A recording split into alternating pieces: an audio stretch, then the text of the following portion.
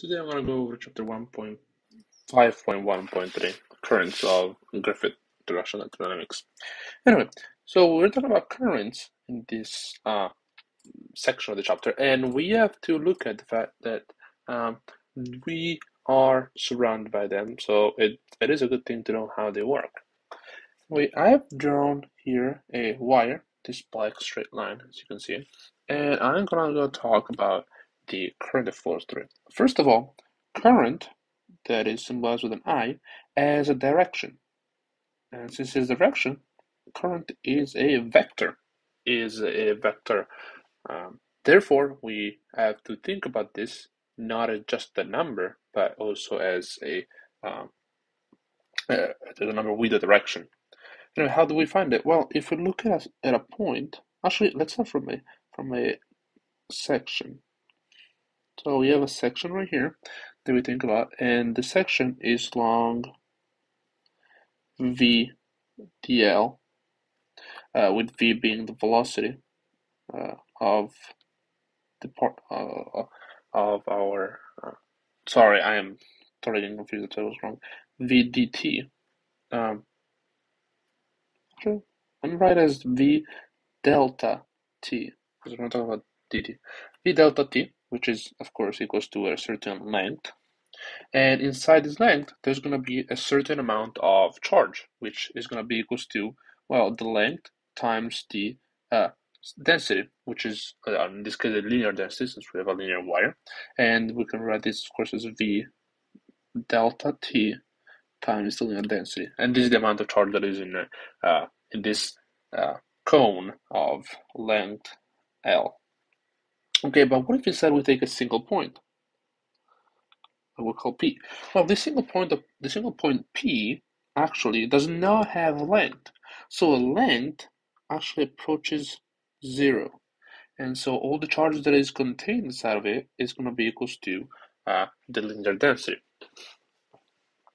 Uh, now, of course, how much linear density is in there depends on our um, on on how fast the, the, the, the, our electrons flow through it. And this is of course because if you think about this, if you think about this with the sectional area, which in because we're calculating is not, we have a lot of particles moving or, a lot of particles coming through it. And the more part, the faster particles are, the faster our um, the more the more charge is going to pass through it. And this means that the only way to get L approaching zero is going to be equal, it's going to be by making dt approach zero.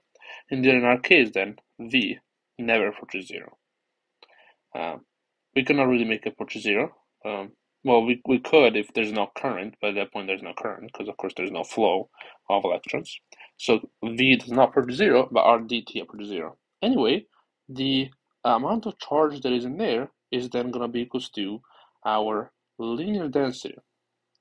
And uh, times v and of course since it's flowing and it is a vector it is the current vector because it is an amount of charge lambda it is moving uh, v and it is a vector from v. So it has everything that the current wants.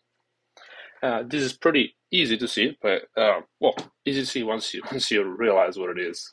Um, anyway, one more thing that you can look at is, um, for example, uh, our magnetic force that we looked at in the previous chapters, in the previous videos, is going to be equals to our uh, V cross B. But when we're talking about several charges, oh, sorry, of course, times Q.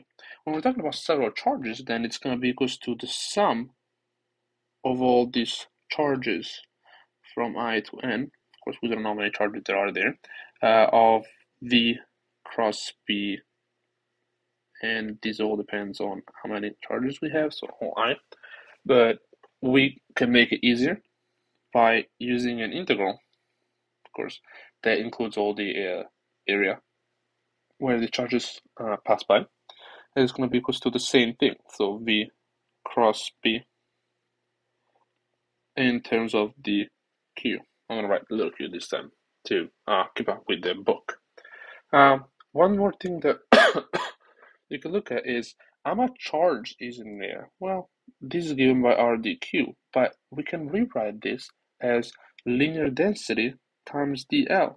Because when we're talking about, for example, this little wire, and we talk about how much charge is in this section over here, well, it's going to be the charge density times L. And of course, as we have L approaching zero, we're going to have uh, linear density times dl. Um, and of course, we have an integral, so we have to keep up. We have to use this notation. I'm going to leave the drawing there in case you want to look at it uh, I'll talk about something else.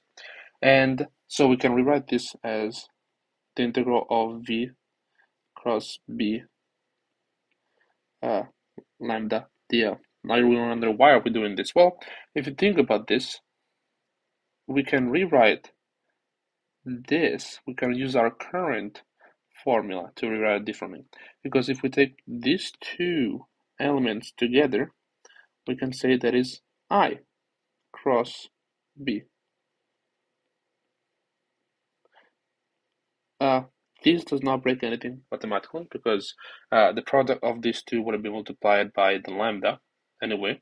Uh, so we can just multiply one uh, one time. And of course, we still have two vectors uh, used in cross product. So it, everything works perfectly. Uh, one thing you can think about is the fact that I, the current vector, is usually constant. So, well, we can take this outside of the uh, integral, but how can we do this? Well, it's actually pretty simple. We know we know that we can use this little trick of taking the i out and say dl cross b Actually, there's no vector, but okay. Uh, cross B. And of course, we just take uh, now the I out. It's, it's a constant. Uh, it's pretty much always going to be a constant. So it's a pretty safe assumption. And this is our formula for the uh, magnetic force of this wire. As you can see, uh, the the longer the wire, the uh, greater the magnetic force but uh, along the wire actually even the greater the uh, current flowing through it. I hope this helped and let me know if you have any questions.